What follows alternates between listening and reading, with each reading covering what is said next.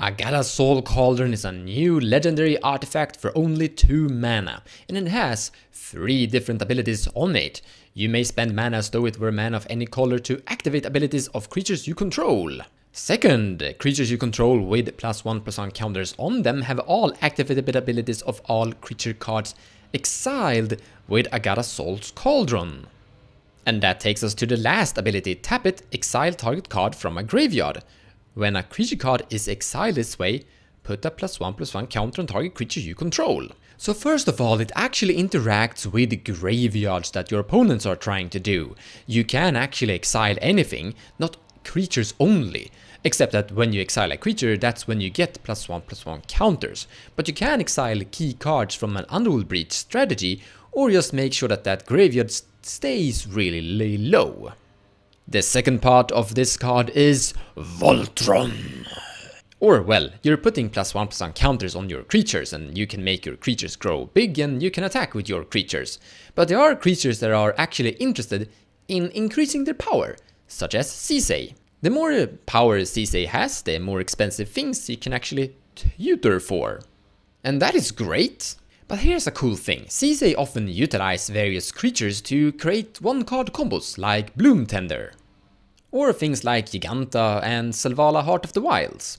And if they would end up inside a graveyard, then you could give one of your creatures their activated ability to tap for mana onto, let's say, Sisay. And suddenly you can rebuild.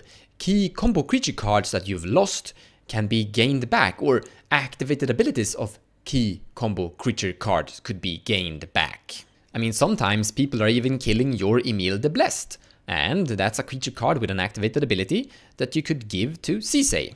And Sisay can easily tutor for this thing quite efficiently, and the creature that is gaining the ability is no longer suffering from summoning sickness because that creatures have probably been in played for a while. This actually reminds me of Necrotic Ooze. As long as Necrotic Ooze is on the battlefield, it has all activated abilities of all creature cards in all graveyards. A typical example is using Necrotic Ooze with Bloom Tender. So Bloom Tender is in your graveyard, suddenly Necrotic Ooze taps for a lot of mana.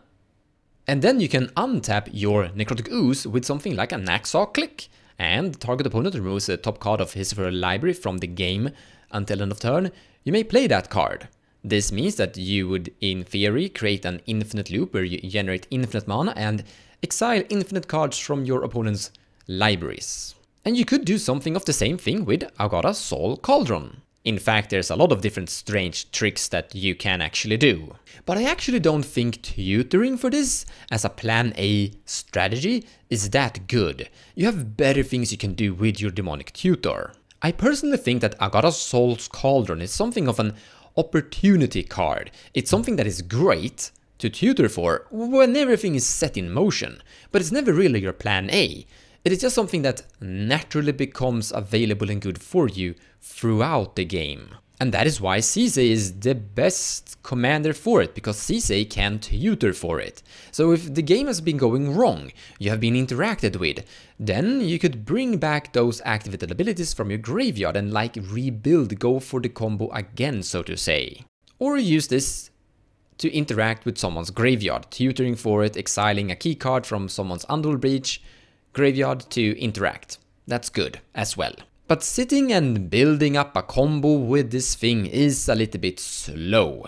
It's something that can absolutely happen, but I think you play it for the other reasons first, and that this is just a good card along the road eventually. There are other commanders that could consider Agatha Soul's Cauldron. I mean, Tayam is milling himself, he's fueling the graveyard with options and could actually bring back the artifact into play.